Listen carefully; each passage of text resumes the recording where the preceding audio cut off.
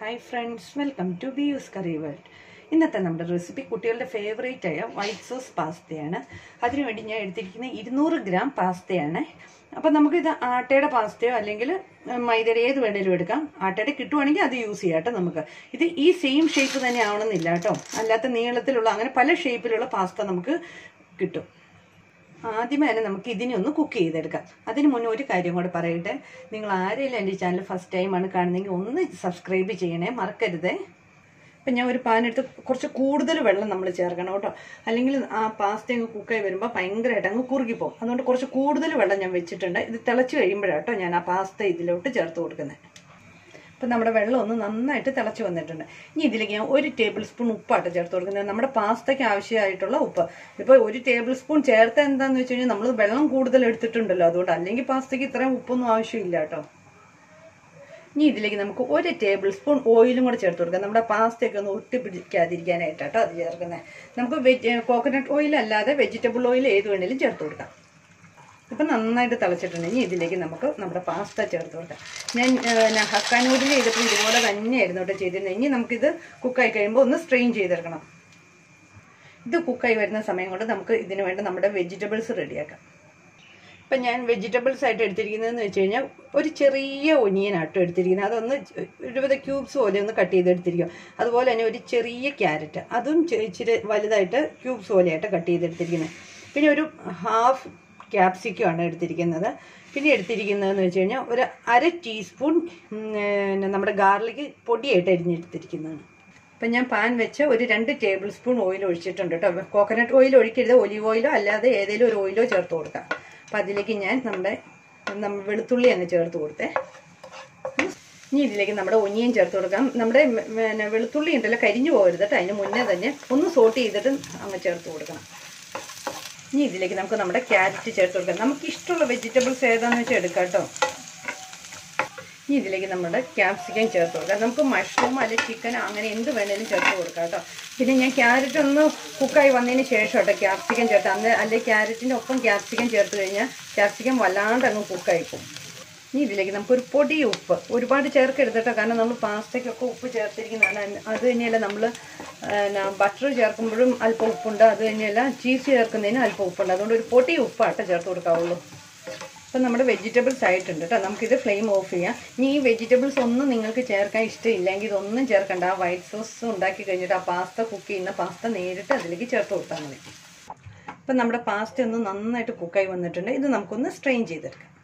അപ്പോൾ ഇത് സ്ട്രെയിൻ ഇനി ഇതിലേക്ക് നമുക്ക് ഒരു ടേബിൾ സ്പൂൺ ഓയിൽ ചേർത്ത് കൊടുക്കാം. കാരണം ഇതൊന്നും ഒട്ടിപ്പിടിക്കാനായിട്ട് ഞാൻ ഹക്ക നൂഡിൽസ് ചെയ്തപ്പോൾ തന്നെ പറഞ്ഞില്ല ഞാൻ അല്ലാതെ നോർമൽ വാട്ടർ ഒഴിച്ച് എടുക്കാറില്ല കേട്ടോ. അതുകൊണ്ട് ഒരു ടേബിൾ സ്പൂൺ ഓയിൽ ഒഴിച്ച് ഒന്ന് മിക്സ് ചെയ്ത് വെച്ചാൽ മതി. ഇനി നമുക്കിതിന് വേണ്ട സോസ് വൈറ്റ് സോസ് ഉണ്ടാക്കാം കേട്ടോ. അതിന് വേണ്ടി ഞാൻ ഒരു പാൻ വെച്ചിട്ടുണ്ട്. അതിലേക്ക് ഒരു രണ്ട് ടേബിൾ സ്പൂൺ ബട്ടർ ചേർത്ത് കൊടുക്കുവാണ്. ഇതൊന്ന് മെൽറ്റായി വന്നു കഴിയുമ്പോൾ നമുക്കൊരു നാല് ടേബിൾ സ്പൂൺ മൈദ ചേർത്ത് കൊടുക്കണം കേട്ടോ. ഇതൊന്ന് ബട്ടർ ഒന്ന് മെൽറ്റായി വന്നിട്ടുണ്ട്. ഇതിലേക്ക് ലോ ഫ്ലെയിമിൽ വെച്ചിട്ട് വേണം മൈദ ചേർത്ത് കൊടുക്കാൻ. അല്ലെങ്കിൽ പെട്ടെന്ന് മൈദ കരിഞ്ഞു പോകും.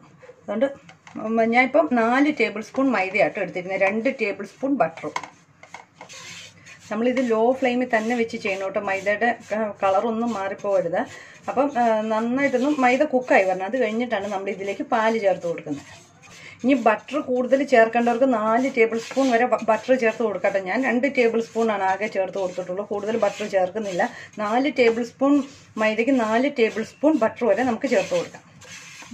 ഇപ്പം നമ്മുടെ മൈദയുടെ പച്ചമണമൊക്കെ ഒന്ന് മാറി ഒന്ന് കുക്കായി വന്നിട്ടുണ്ട്. ഇനി നമുക്ക് ഇതിലേക്ക് കുറച്ച് കുറച്ചായിട്ടാട്ടോ പാൽ ചേർത്ത് കൊടുക്കാവുള്ളൂ. ഞാനിപ്പോൾ എടുത്തിരിക്കുന്നത് ഒരു മൂന്ന് കപ്പ് പാലാട്ടോ എടുത്തിരിക്കുന്നത്. വളരെ കുറച്ചായിട്ട് കുറച്ചായിട്ട് ചേർത്ത് കൊടുക്കണം. അല്ലെങ്കിൽ ഫുള്ള് കട്ടയായി പോകും അതുകൊണ്ട് വളരെ കുറച്ചായിട്ട് ചേർത്ത് കൊടുത്ത് ചേർത്ത് കൊടുത്ത് നന്നായിട്ട് മിക്സ് ചെയ്തെടുക്കണം.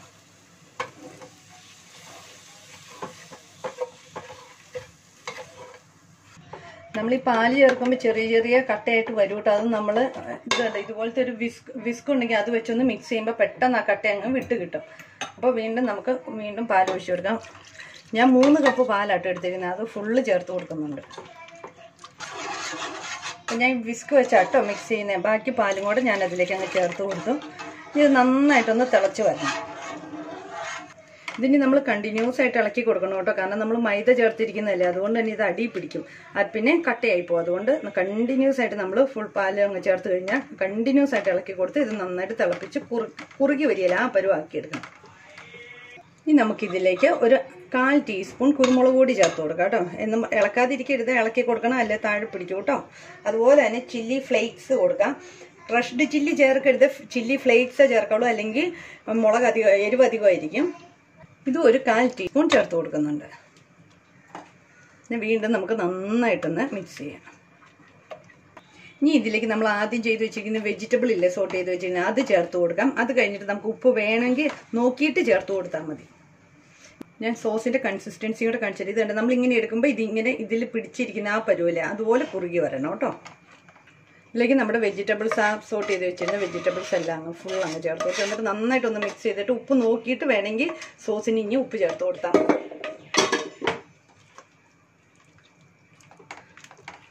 അല്പം ഉപ്പ് കുറവുണ്ട്. ഞാൻ ഒരു കാൽ ടീസ്പൂൺ ഉപ്പ് പൊടി ചേർത്ത് കൊടുത്തു കേട്ടോ. എന്നിട്ട് അത് നന്നായിട്ട് മിക്സ് ചെയ്തിട്ട് നമ്മുടെ പാസ്ത കുക്ക് ചെയ്തിരിക്കുന്ന പാസ്ത നമുക്ക് ചേർത്ത് കൊടുക്കാം. അപ്പോൾ നന്നായിട്ടൊന്ന് മിക്സ് ചെയ്ത് ഇത് കണ്ട നമ്മുടെ സോസൊക്കെ നന്നായിട്ട് തിക്കായും വന്നിട്ടുണ്ട്. ഇനി നമുക്ക് നമ്മുടെ പാസ്ത തന്നെ ചേർത്ത് കൊടുക്കാം. ഇനി ഇതിനെ നമുക്ക് നന്നായിട്ടൊന്ന് മിക്സ് ചെയ്ത് കൊടുക്കാം. ഇനി നിങ്ങൾക്ക് മിക്സ് ചെയ്യുമ്പോൾ ഉണ്ടല്ലോ വെള്ളം തീരെ കുറവെന്ന് തോന്നുവാണെങ്കിൽ നിങ്ങൾക്ക് വേണമെങ്കിൽ തിളപ്പിച്ച പാലോ അല്ലെങ്കിൽ കുറച്ച് തിളപ്പിച്ച വെള്ളമോ ചേർത്ത് കൊടുക്കാം കേട്ടോ. ഇനി ഇതിനെ നമുക്കൊരു രണ്ട് മിനിറ്റ് ഇങ്ങനെ വെക്കാം.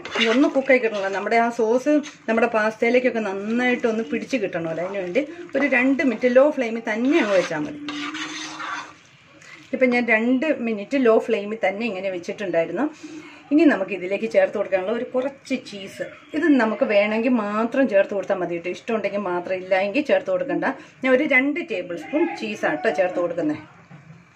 ഇനി ഇതിനെ നന്നായിട്ടൊന്ന് മിക്സ് ചെയ്ത് കൊടുക്കാം നിങ്ങൾക്ക് ഉപ്പ് എന്തെങ്കിലും കുറവുണ്ടെങ്കിൽ ഈ സമയത്ത് ചേർത്ത് കൊടുക്കണം കേട്ടോ. നന്നായിട്ടൊന്ന് മിക്സ് ചെയ്തെടുക്കാം. അപ്പം നമ്മുടെ ചീസൊക്കെ ഒന്ന് മെൽറ്റായി വന്നിട്ടുണ്ട്.